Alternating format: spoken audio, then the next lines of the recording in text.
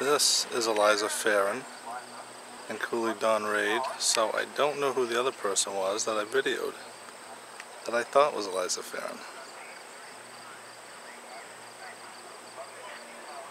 It may have been uh, the horse Tomcat.